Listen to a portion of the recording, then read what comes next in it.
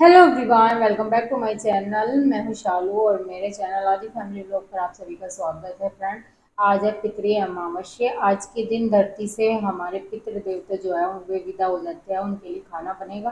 तो अभी मैंने खीर रख दिया है क्योंकि आज के दिन खीर ज़रूर बनती है. बनने के लिए और इधर सब्ज़ी रख दी है बनने के लिए. तो बने रहिए ब्लॉग में एंड तक का कैसे पूजा करते हैं अमावस्या में और कैसे पितरों का खाना निकालते हैं. ब्लॉग अच्छा लगे तो इसको लाइक, शेयर और कमेंट भी कर देना और जो कोई चैनल पर न्यू है तो चैनल को सब्सक्राइब भी कर लेना। बेल आइकन को प्रेस कर देना जिससे जाने वाली हर एक वीडियो की नोटिफिकेशन आपको मिलती है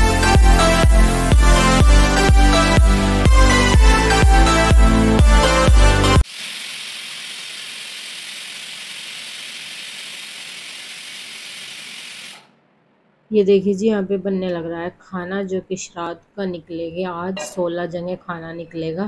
तो रोटी बनती है रोटी, चार रोटी के सोलह टुकड़े होते हैं और सोलह पूरी बनती है, जो कि सोलह दिन के कनागत होते हैं। तो उनका सोलह ही मतलब पूरियाँ निकल कर उन पर खीर और सब्ज़ी रखी जाती है। आगे लोग में दिखाएँगे आपको कैसे करते हैं। तो जी, खीर हमारी बन गई है। उसमें मैंने नारियल जो कद्दूकस करके रखा होता है, नारियल का बहुत वो डाल दिया है। और यहाँ पर हम सब्ज़ी छोकने की करते हैं तैयारी, हींग और जीरे में ही सब्ज़ी बनेगी क्योंकि ये श्राद्ध के लिए खाना है। पूजा, रामन, श्राद्ध वगैरह जो देवता पितरों के लिए, भगवान के लिए जो भी हम खाना बनाते हैं, उसमें लहसुन, प्याज का बिल्कुल भी मतलब इस्तेमाल नहीं होता है। तो टमाटर देखिए मैंने इसमें डाल दिए हैं। अभी हम आलू डाल देंगे। तो मोस्टली क्या है कि भंडारे वाली सब्ज़ी ही बनती है अधिकतर, क्योंकि लहसुन, प्याज के बगैर झींग और जीरे में ये वाली सब्ज़ी बहुत ज़्यादा टेस्टी लगती है और कुछ इतना अच्छा सा नहीं लगता लगता है वैसे तो बनाना पड़ता है। देखिए, सोलह दिन हमारे पितरों के होते हैं तो उसमें हम बिल्कुल भी लहसुन, प्याज का इस्तेमाल नहीं करते हैं। तो यहाँ पर मैंने सारा मसाला डाल दिया है, जो भी हम सूखे मसाले ऐड करते हैं, वो सारे डाल दिए हैं और नमक भी डाल दिया है। नमक से हमारे टमाटर अच्छे तरीके से जल्दी से ही गल जाएँगे। और ये देखिए, अब हमारा खाना हो गया है तैयार।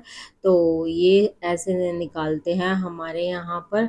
ये देखो, क्योंकि आज के दिन शुद्ध बर्तनों में निकाला जाता है खाना। तो बर्तन हम कितना भी साफ़ कर लें, लेकिन यूज़ तो होते ही है। देखिए, शुद्ध तो नहीं होंगे बिल्कुल तो पत्तल से शुद्ध कुछ नहीं है तो फिर हम इस तरीके से पत्तल पर निकालते हैं। तो ये सोलह टुकड़े हैं जो कि कब्बों को जाएँगे। ये सोलह पूरी है जिन पर खीर और सब्ज़ी लगा रही है, लगा रहे हैं मतलब और जो रोटी के टुकड़े हैं सोलह उन पर भी खीर और सब्ज़ी लगेगी। तो ये कौवों को और ये गाय को जाएगा। इस तरीके से यहाँ पर हम निकालते हैं हमारे पितरों का और देवताओं का खाना, जो कि आज हमारे पित्र इसको ग्रहण कर कर धरती लोक से विदाई ले लेंगे। तो जी, ये देखिए, इस तरीके से निकालते हैं। और पत्तल से शुद्ध कोई भी बर्तन नहीं है। मेरा मानना तो ये है और इस तरीके से इन पे हम पानी फेर देंगे और अब ये खाना ऊपर छत पर रख के आएँगे और कुछ गाय को देखाएँगे तो इस तरीके से हमारे यहाँ पर अमावस्या की पूजा होती है। अभी हम शाम का टाइम है तो ये हमने टिकड़ी और बत्तख बनाए थे मिट्टी से। तो आज ही आज ही के दिन हमारे घर में सांझी भी लगती है। तो सांझी लगाने की हो रही है अब जब तैयारी तो इन्हें हमने सुखा लिया था धूप में। अब इनमें हम खड़िया भरेंगे, वाइट कलर की जो आती है तो वो इन पर सब पर वाइट कलर कर देंगे, फिर इन पर वैसा कलर करेंगे, क्योंकि एकदम से डायरेक्ट अगर वैसा कलर करेंगे तो मिट्टी से फिर वो अच्छा नहीं आएगा। तो अभी इन पर हम वाइट कलर कर देंगे। ये टिकड़ी है, बत्तख है, इनमें कुछ युवान ने बनाए, कुछ परी ने तो वो भी साथ में ही लगे हुए थे। कि ये मैंने बनाई ये मैंने, वो मेरे साथ लगे रहते हैं, हटते नहीं, दोनों के दोनों। तो कुछ हमने सामग्री बना कर रखी थी हमन के लिए मतलब नौ के नौ दिन हम घर में अमन करते हैं ना तो सुबह शाम अंगारी सिलगाते हैं, जोत करते हैं तो उस पर सिलगाने के लिए सामग्री हम बनाकर एक डब्बे में रख लेते हैं घर में तो उसमें भी सारे के सारे मेरे साथ में लगे हुए थे चलो मम्मा चलो मैं भी करवा रहा हूँ आपके साथ में, परी भी, चलो मैं भी करवा रही हूँ। तो अभी मैं और परी यहाँ पर बैठे हुए कलर कर रहे हैं इसको तो मेरे साथ वही लग रहना है ना, इन्हें सुबह से बड़ी आफत उतारी हुई है कि चलो मम्मा, जल्दी काम हुआ नहीं आपका और कलर करेंगे। मैंने कहा, अभी सूख तो जाने दे। हाँ करेंगे। सूख गए चलो जल्दी। तो उसने हाँ जो मुझे काम करना भी भारी कर दिया सुबह से, क्योंकि तो बच्चों की छुट्टी है और फिर इसको ना इन कामों में बहुत ज़्यादा शौक भी है। तो लगी रहती है। ये अगर मैं कोई चीज़ लाऊँगी तो मुझे बोलेगी क्या आपने मेरे लिए तो ली नहीं है ऐसी चीज़। तो इसको मतलब मेरे से बहुत ज़्यादा अटैच है ये। तो हमने देखो इन पे वाइट कलर कर दिया, ये धूप में सुखा दिया बहुत जल्दी से सूख भी गई अब इसमें कर रहे हैं कलर और ये लगी हुई है मेरे साथ कि तुम ही करोगी, मुझे नहीं करने दे रही। मैंने कहा, मैं बस इस पर कर लूँ, फिर तू कर लेना। मैं कॉटन से कर लूँगी, या फिर शॉप पे से दूसरा ब्रुश दूसरा ब्रुश मैं इसलिए नहीं मंगवा रही, फिर वैसे ही पड़ा पड़ा, फिर फिरेगा ये बच्चे तो यूज़ में करते नहीं, अभी तो इनका स्केच चल रहा है, इनके वाटर कलर तो अभी इस्तेमाल में आते नहीं। क्योंकि छोटी क्लास में है तो फिर मैं कॉटन ले लूँगी कॉटन से कर दूँगी और ये ब्रुश से कर लेगी। और जल्दी से हो जाएगा, सारे के सारा तो इससे भी नहीं होएगा।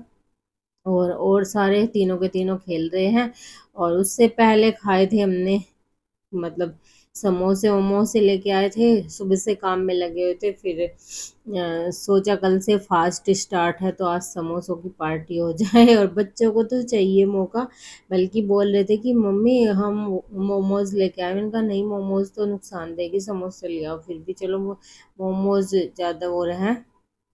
और बताओ ना ये फ्राई नहीं खाते स्टीम खाते हैं वो मुझे बिल्कुल भी अच्छी नहीं लगती।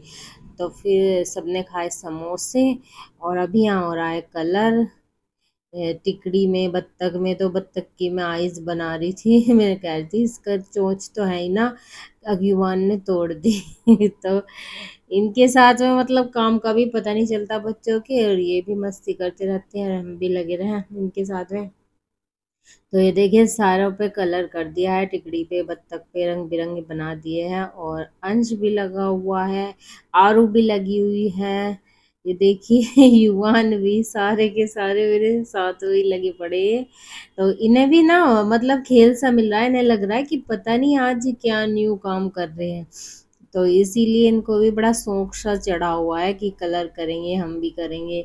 ये क्या बना रहे हो? ये क्या पहले तो ना जब हम छोटे थे, हम भी इस तरीके से ही अपनी मम्मी के साथ में लगते थे। हमारी मम्मी मिट्टी से खुद ही घर पर बनाया करती थी। सांझी माता जो शेरों वाली माता है तो शेर बनाते थे, हाथ, पैर, मुँह तो पूरी तस्वीर ऐसे ही बना देते थे मिट्टी से और हम ऐसे टिकड़ी बत्तख बनाया करते थे। तो अब तो रेडीमेड ले आते हैं, क्योंकि मिट्टी वगैरह भी इतनी नहीं मिलती है, ना ही अच्छी मिलती है।